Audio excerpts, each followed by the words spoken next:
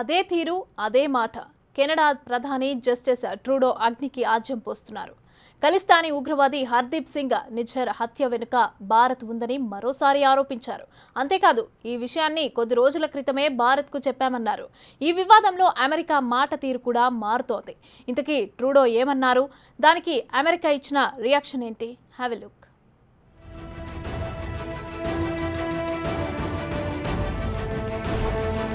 మరోసారి కెనడా ప్రధాని Justin Trudeau సంచలన వ్యాఖ్యలు.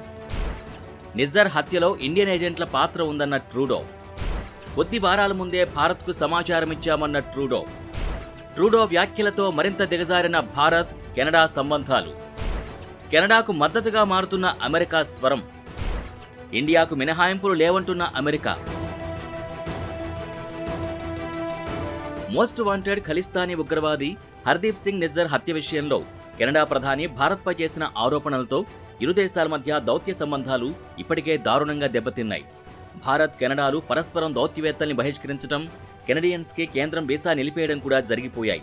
అయితే ఈ వివాదాన్ని మరింత పెంచేలా మరోసారి తీవ్ర వ్యాఖ్యలు చేశారు కెనడా ప్రధాని జస్టిన్ ట్రూడో. బ్రిటిష్ కొలంబియాలో జరిగిన నిజ్జర్ హత్యలో ఇండియా గవర్నమెంట్ ఏజెంట్ల పాత్ర ఉందన్న విషయాన్ని కొన్ని వారాల క్రితమే ఆ దేశానికి తెలిపామన్నారు ట్రూడో. అయితే ట్రూడో ఇంత బలంగా వాదిస్తున్న ఇండియన్ ఏజెంట్ల పాత్రను కెనడా నిఘా వర్గాలు పసిగట్టాయా? లేక వేరే వర్గాల నుంచి సమాచారం వచ్చిందా అనే దానిపై మాత్రం ట్రూడో నోరు మెదపడం లేదు.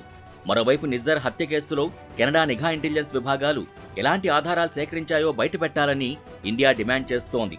అయితే కెనడా మాత్రం ఇప్పటివరకు ఆధారాల్ని బయటపెట్టడం లేదు.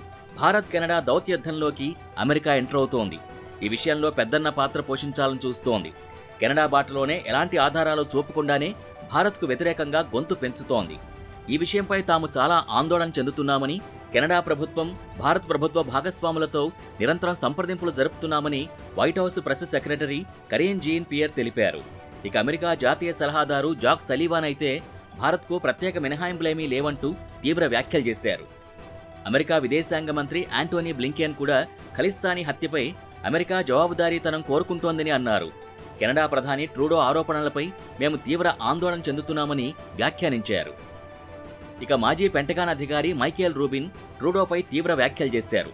కెనడా ప్రధాని తీరు పూర్తిగా రాజకీయ నాయకుడిగా ఉందని ఎలాంటి ముందుచూపు లేకుండా వ్యవహరిస్తున్నారని ఆయన తెలిపారు. అంతేకాదు ప్రస్తుతం జరుగుతున్న ఘర్షణ భారత్ కంటే కెనడాకే ఎక్కువ ప్రమాదమన్నారు ఆయన.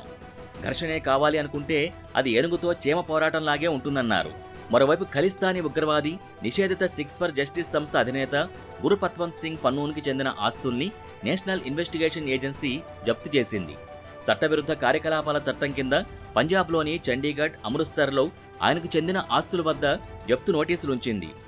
చండీగఢ్లోని నివాసంతో పాటు అమృత్సర్లోని పూర్వీకుల గ్రామమైన ఖాన్కోట్లో గురుపత్వంత్ సింగ్కు చెందిన వ్యవసాయ భూమిని కూడా ఎన్ఐఏ జప్తు చేసింది.